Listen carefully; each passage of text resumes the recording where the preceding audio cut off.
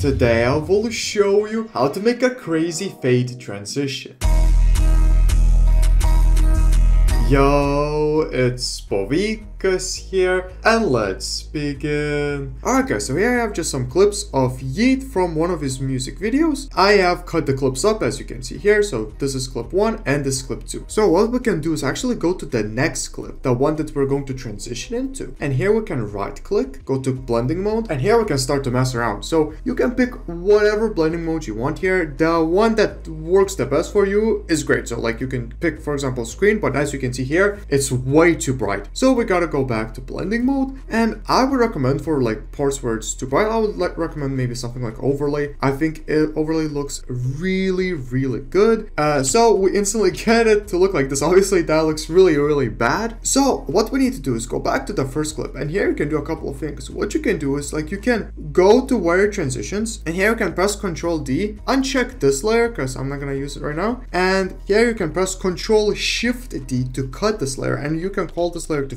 freeze and now we can right click go to time and make it to freeze frame. So what this will basically do is just freeze frame it. Obviously that looks horrible right now. So what we can also do is press ctrl y and add an effect called transform. And first we can make the scale to 100 and we keyframe it here. And here we can go to the ending and here we can make the scale to like 125 for example. Sometimes this might be a bit too high and now let's see it still looks really really bad. All right so what you also need to do is you need to press T on the freeze layer and this will bring up the opacity. Now the key is here to keyframe the opacity at 100 and go to the ending and here let's keyframe the opacity. You can keyframe here from 0 to 50 even. Let's just do 15 right here. So it will pretty much like fade out like this but you can also select all the keyframes press F9 and go to the graph editor. And here the graph editor let's make this go a bit down and I like to make this point go kind of far away like this. So pretty much like just fades out like this. And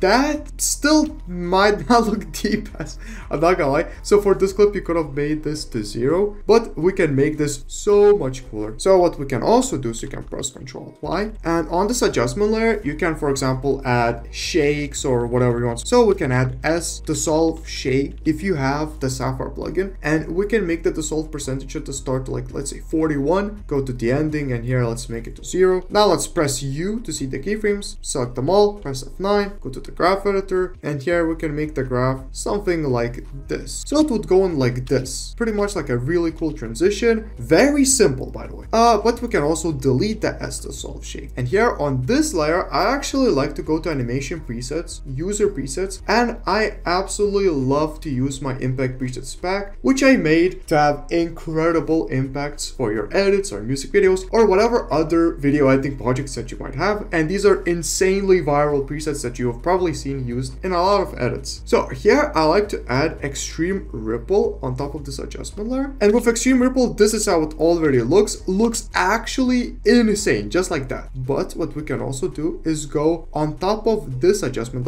layer that we had transform on. Press ctrl y and here I like to add puddle impact. Now puddle impact, what it's pretty much going to do is I, I, can actually uncheck this adjustment layer. Puddle impact is just going to give a puddle to the fading out Yeat as you can see, which looks really, really cool. And when you combine it with the extreme ripple, everything just fits together really, really nicely, just like that. All right, so now we have another clip right here, as you can see. So what we can do is right click on this clip and go to blending mode. And here I'm gonna try screen because this is not too bright. Uh, actually, that background is a bit bright, but doesn't matter, whatever. And so what we can do is go to the second clip, press Ctrl Shift D, right click, go to time and freeze frame. And here we can press T, you know, keyframe the opacity, go to the ending. Actually, let's extend it. And at the ending, here we can make it maybe like, I don't know, 30, 31, doesn't matter. Press F9, go to the graph editor and maybe make it, yeah, something like this. And this is how it will look just like this. Looks mm, meh, I guess you could make the opacity a bit lower, maybe 19%. And now let's go back on the third clip on top of it, press Ctrl Y. And here I love to add Shockwave Impact Fix. And here you can have this crazy look just like that. Or instead of it, you can add plenty of other different effects. So for example, you can try Dark Color Distort. And this is how Dark Color Distort looks. Absolutely ridiculous. But I want to try one one more. I want to try colorful distortion shape. Oh yeah, that looks really, really cool. Although you can barely see the other character, so you might want to switch the blending mode right here. And yeah, we have pretty much made this absolutely ridiculous sequence. I just want to let you know that if you would like to use my Impact Presets pack, it's on my povikas.com website, which I have created to help video editors just like yourself have insane visuals. And as a thank you gift for watching the tutorial and just supporting the channel, you can also use code POVIKAS to save $5 off on the Impact Presets pack.